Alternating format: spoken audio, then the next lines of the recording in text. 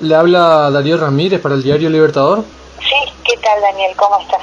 Bien, bien, por suerte. Comenzamos hablando sobre su, su reciente elección como presidenta de, del Comité Ejecutivo del Consejo Interuniversitario Nacional. ¿Cómo lo, la tomó esta, esta elección?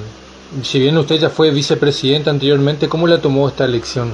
Eh, bueno, eh, un poco, a ver, anticipada, digo, porque nosotros teníamos previsto un plenario de rectores y rectoras para el 7 de abril, que a raíz de esta circunstancia de, la, emergencia sanitaria, este, no decidimos el martes pasado, ¿no? En el comité ejecutivo decidimos que no se iba a realizar, de manera que allí también eh, los rectores que, que, presentes, bueno, que estaban presentes allí, propusieron que eh, anticipáramos la elección de presidente y vicepresidente del CIN.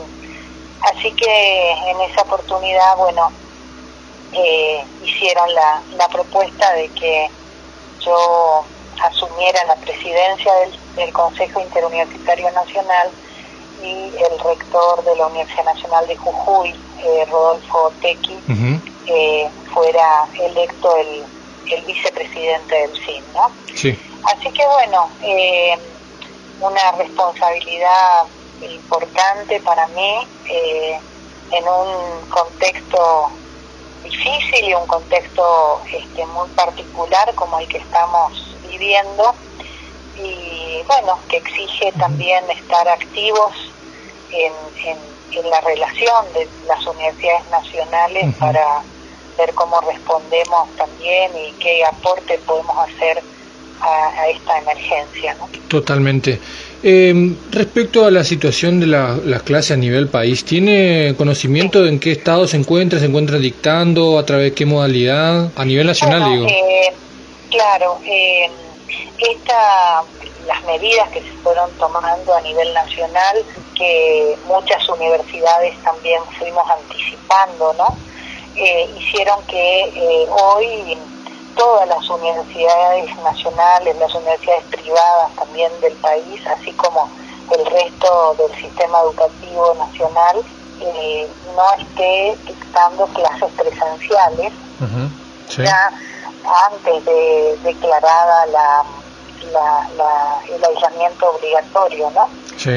Este, y, y, bueno, y esto ha obligado también a las universidades, a las facultades, a las distintas carreras a buscar alternativas para, para eh, digamos, paliar la no presencialidad. Uh -huh. Y nosotros en la universidad estamos trabajando con, tenemos hace muchos años un una, un programa que es la UNE Virtual, eh, que ha hecho mucha capacitación también a los docentes, eh, ha trabajado siempre para complementar lo presencial y algunas carreras pocas eh, a distancia que tiene la universidad, ¿no? Uh -huh. este, así que bueno, es una es una estrategia que nos permite digamos, resolver la coyuntura, no de una manera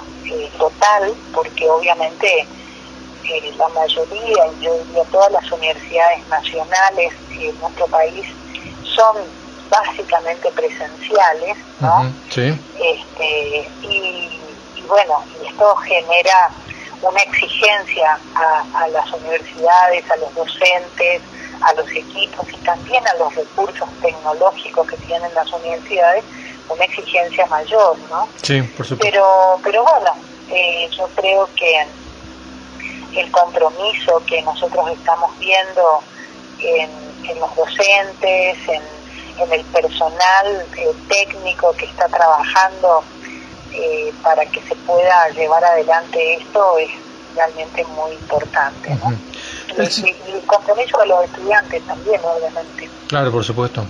El sistema de, de SIU guaraní, ¿esto es algo que funciona únicamente en el, en el NEA, solamente en la UNE, o es algo a nivel, un, una plataforma de inscripción a carreras y a, de alumnos a nivel nacional?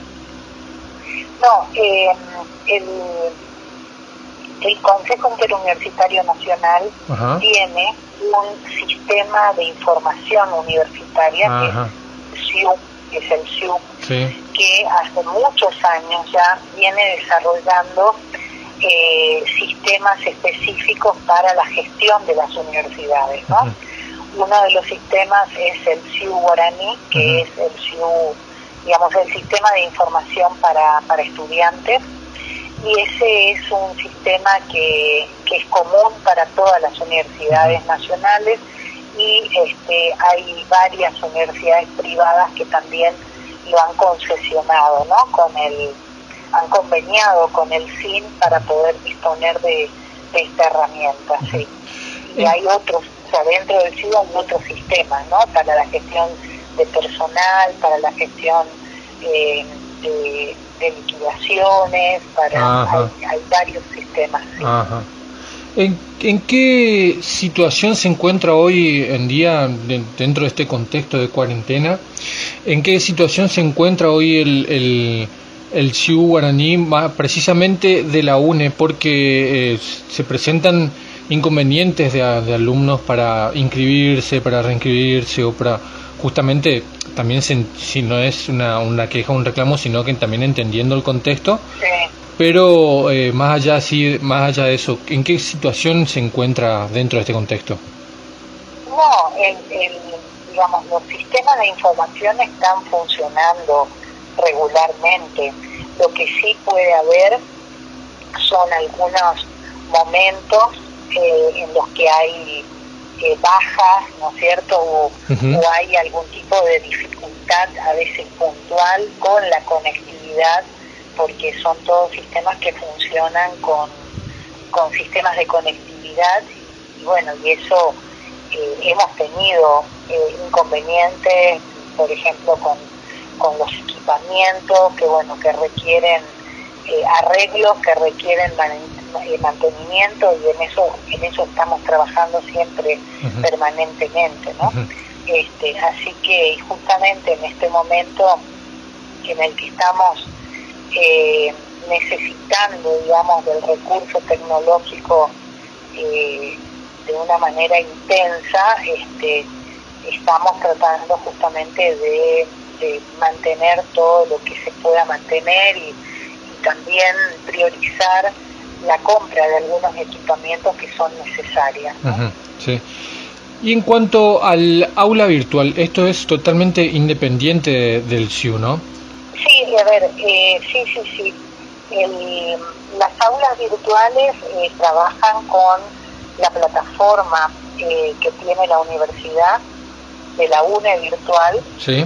Hay algunas facultades que tienen también sus propias plataformas como es el caso de medicina, trabaja igualmente articuladamente con, con, digamos, con el sistema, o sea, la universidad tiene un sistema eh, institucional de educación a distancia eh, que mayoritariamente se provee de la plataforma de la UNE virtual, ¿no? Justamente en esta en esta semana, estas dos semanas, eh, hemos hecho una apertura de cientos de aulas virtuales para, para todas las cátedras de, la universidad, de las distintas facultades y las distintas carreras.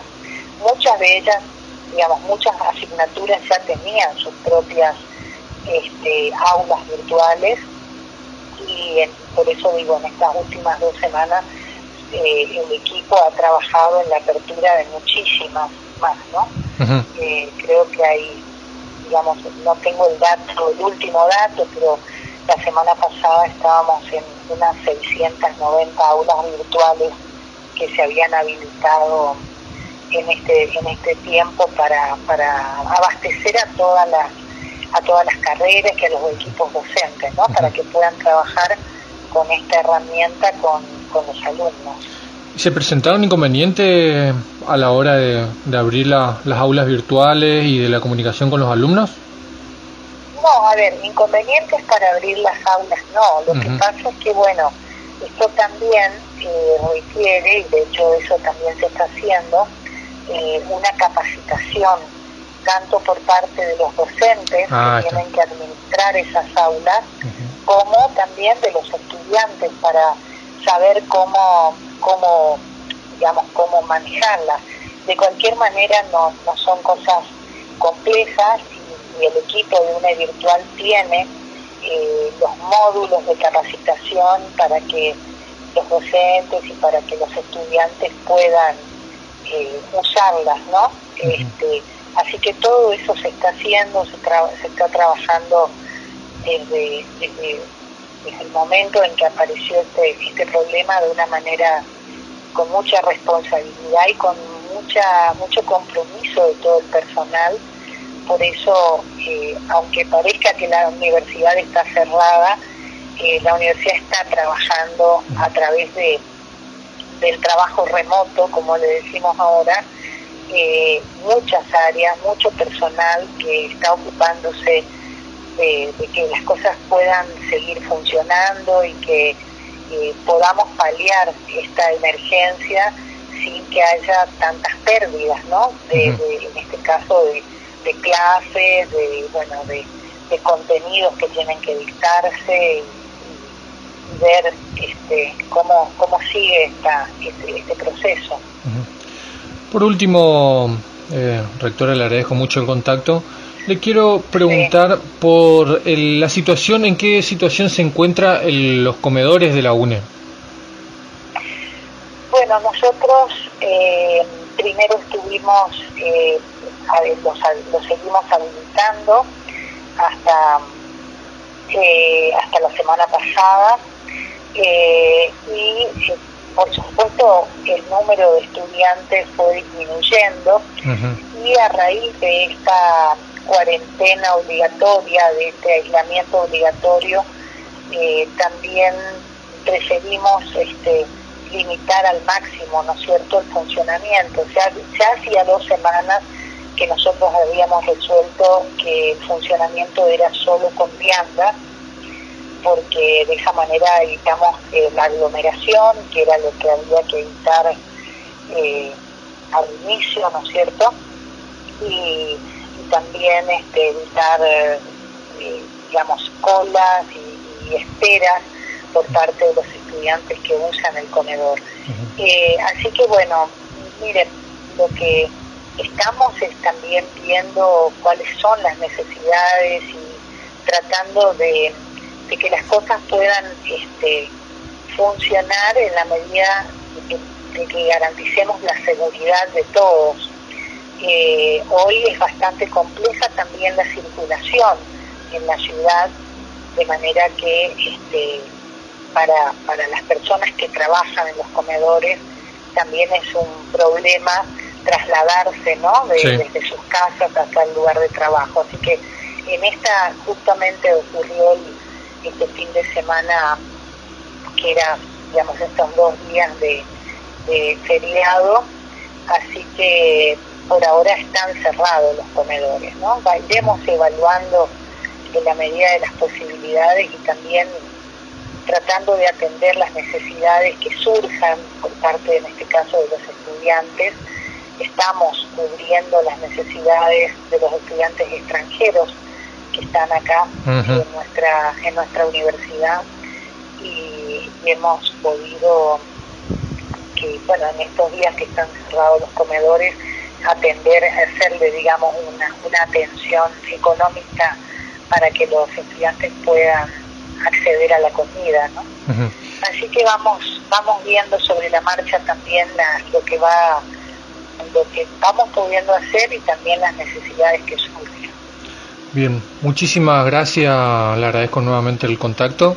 cómo no Eh, si necesita comunicar, transmitir algo, felicitaciones por las elecciones y hasta luego. Bueno, muchas gracias, ¿eh? Hasta luego, adiós. Chau. Luego, adiós. Luego, adiós.